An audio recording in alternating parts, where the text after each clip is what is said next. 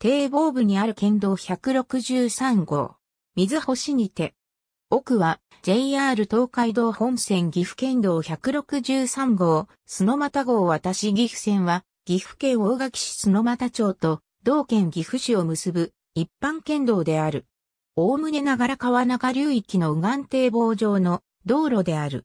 岐阜県大垣市須野又町須野又の長良、大橋西交差点交点が起点。起点より長良川と西川の間の堤防上を北に進み、須野又城の前を通り、水星に入る。国道21号機大バイパスの穂積大橋と立体交差し、JR 東海道本線のガード下をくぐると間もなく、岐阜市に入る。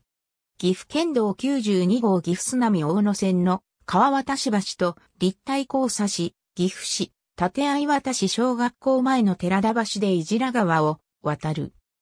橋を渡ってすぐ、いじら川の堤防上を右折し、さらに V 字に折り返して長良川堤防に戻る。この辺りからは北東方向に進む。岐阜市1日市場には長良川を渡る商工の私の待合所がある。鏡島大橋、大縄場大橋をくぐり、岐阜市東東で国道157号に接続する。中節橋北交差点まで同国道と重複し、その後も堤防上を進む。金華橋と交差したあたりでは、岐阜メモリアルセンターや長良川国際会議場が、左手に金華山頂にそびえる岐阜城が、右手の川の対岸に見える。堤防を降り、国道256号と接続する岐阜市若竹町1丁目の長良急一交差点が終点。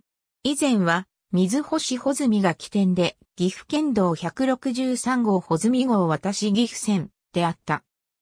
水星穂積と大垣市須野又町須野又の間に岐阜県道23号のバイパスが開通したことに伴い当道路の起点が大垣市須野又町に変更されて、岐阜県道163号須野又号渡し岐阜線となり、大垣市須野又町ながら大橋西交差点から水星、穂積までの岐阜県道23号旧道が東道路に編入された。